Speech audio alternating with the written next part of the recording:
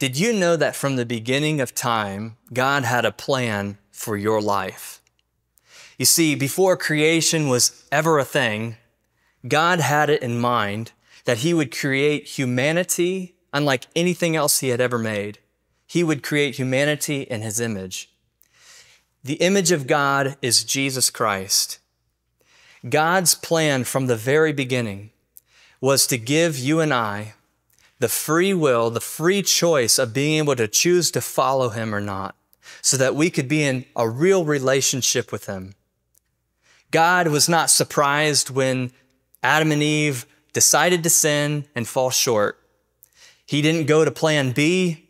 He didn't go to any other plan. He just had the plan. The plan from the beginning was that he, through his son, Jesus Christ, would come into the world to live the life that you and I should have lived but could not, to die the death that our sin deserved, and then he would raise from the dead. And that is the good news of the gospel.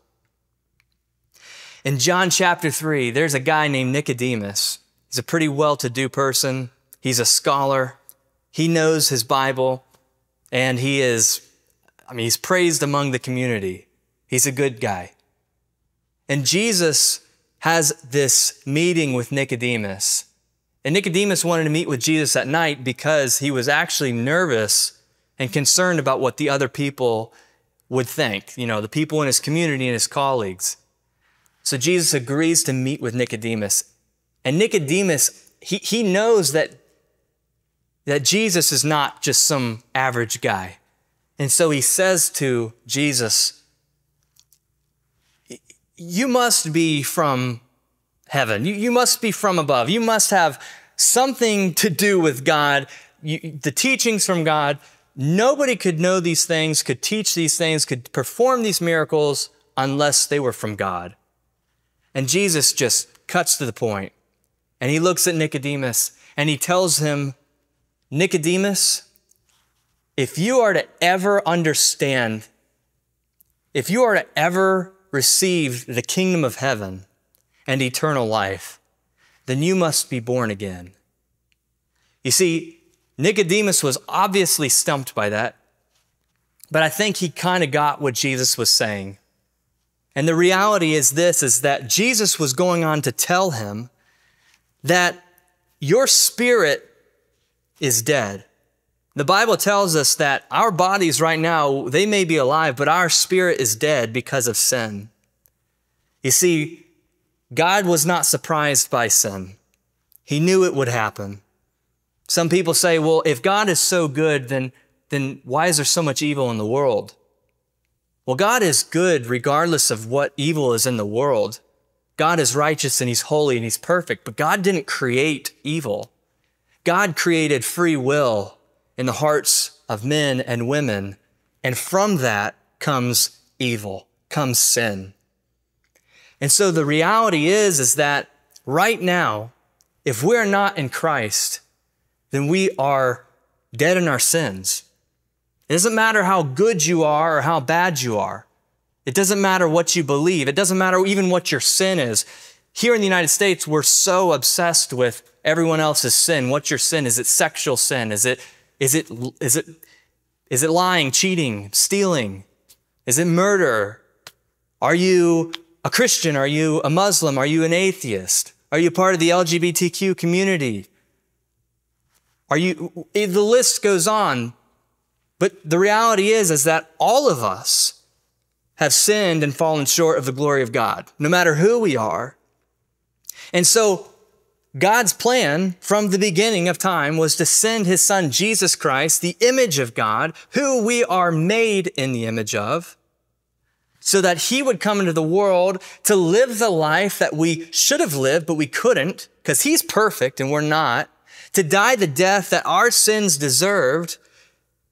And then he rose, he raised from the dead. You see, Jesus goes on to tell Nicodemus, something extraordinary. And you may have heard this scripture before, but not realized the context of it. He says, Nicodemus, God so loved the world that he sent his one and only Son to die for you. That if you, you who are watching this now would believe in him, you would not perish but have everlasting life.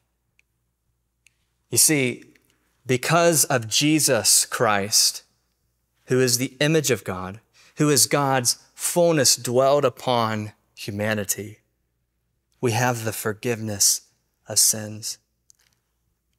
Jesus came and he was perfect. He lived a perfect life and he was betrayed. And this was all prophesied in the scriptures. We knew this was going to happen. The Messiah, the Son of God, Jesus comes. He's betrayed. He's brought before Pontius Pilate. And Pilate looks over at Jesus and he says, he asks him this question. And then Jesus doesn't even respond to him. And I'm, I'm assuming that Pilate gets a little bothered by that. And he says, Don't you realize that I have power to give you life or to take your life? And Jesus lets Pilate know very quickly that you have no power over me than what has been given to you. You see, Jesus says that no man takes my life. I lay it down on my own accord. Jesus is then flogged. He's beaten to a pulp. He's unrecognizable in agony. He carries the cross to a place called Calvary, and he's nailed on that cross. And the worst part of all of that torture was not just the pain of the nails being driven into his hands and into his feet. It wasn't just the crown of thorns that was placed on his head because they mocked him for being the king of the Jews. It was that Jesus bore our sin and he became sin. That means that everything that you and I ever did or ever will do was put upon his body. And Jesus became sin and he experienced the weight of sin on his broken and beaten body. And he was hung on the cross to die for you and for me. And when he was on that cross, he thought about you, about how much he loved you, about how much he went to the cross to endure, to endure the pain for your life, to buy you and I back so that we didn't have to, have to be a slave to sin. Jesus, right before he dies on that cross, he says some powerful words. He says, It's finished. Jesus meant not that his life was finished. He meant that God's plan of salvation for your life was finished. It was complete. It, your sin, your sin's been paid for right now. Your sin, as it stands, has been paid for. You just have to receive that gift of salvation. And it comes through one name, and that's Jesus Christ. So Jesus dies, and in three days, he raises from the dead. You see, all other religions in the world have, have a dead God or a dead prophet. But Jesus is alive. It was prophesied that on the third day he would raise from the dead, and that is exactly what happened. The tomb was empty. Jesus rose from the dead. And then hundreds and hundreds of people saw the risen Christ. And that is good news. And because of that, God says that if you and I will confess with our mouth that Jesus is Lord and believe that God raised him from the dead, then we will be saved. And that's what it means to be a follower of Christ. That's what it means to be a Christian. It's not a set of rules and obligations. It's not, it's not God saying you have to do all these little things to get to me. That's what religions across the world say. But God's, God looked upon us from the beginning and he said, nope, it's not going to work. It didn't work for the ancient Israelites. It's not going to work. I'm going to send my son, Jesus, to die in your place. You see, this relationship that you can have with Jesus Christ can begin right now. I want to explain to you how, how God has expressed himself to us the best that I can. You see, there's God the Father, we have the Holy Spirit of God, and we have Jesus Christ. God wanted you and I to be able to have the perfect example of a human being and give us this, the, the forgiveness of sins through perfect blood shed on the cross.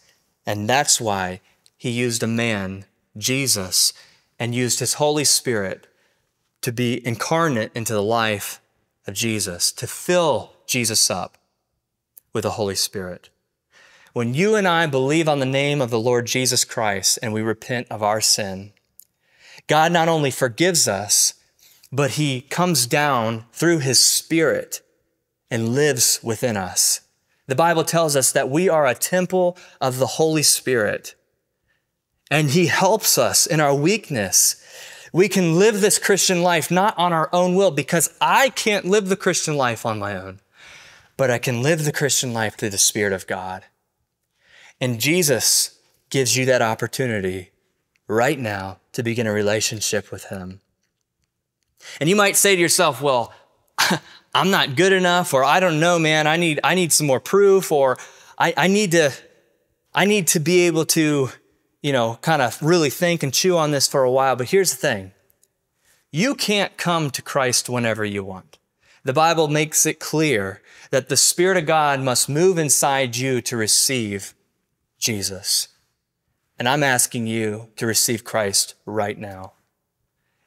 There might be a stirring in your heart or in your mind, and you feel something within you. That's the Holy Spirit moving within you and he's calling you. He knows everything about you. He's, know, he's known every bad thing you've ever done. He knows every bad thing that I've ever done. I, the person who's telling you about this great news, fall short of God's standards all the time. I do not do it on my own strength to live this Christian life. I choose Jesus and the Spirit of God that has changed my life.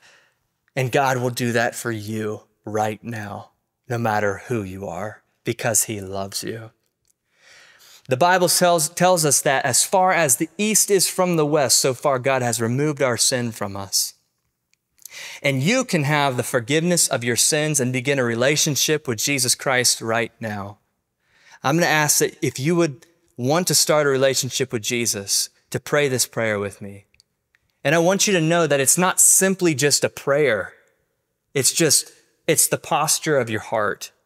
It's the willing to repent of your sin and ask God to come and help you. Pray this prayer with me. Dear Jesus, I thank you. I believe that you lived and that you died and that you rose from the dead. And I ask that you forgive me of my sin. Make me new. I pray that you would fill me with your Holy Spirit and help me to follow you. Thank you, Jesus. Amen. And if you prayed that prayer, the Bible says that you are a new creation.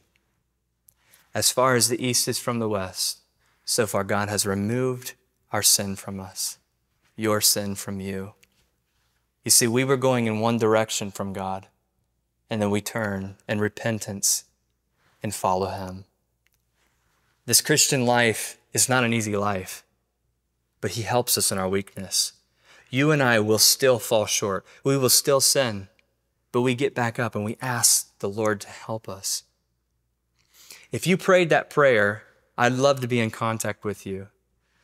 You can email us, you can send us a letter, you can let us know that you made a decision today to follow Jesus Christ. We would love to get in connection with you. We'd love to help you find a local church wherever you live, wherever you're at on this planet. We would love to, help you find a good, faithful, gospel believing church. And we would love to get a Bible in your hands. Thank you so much. and God bless you.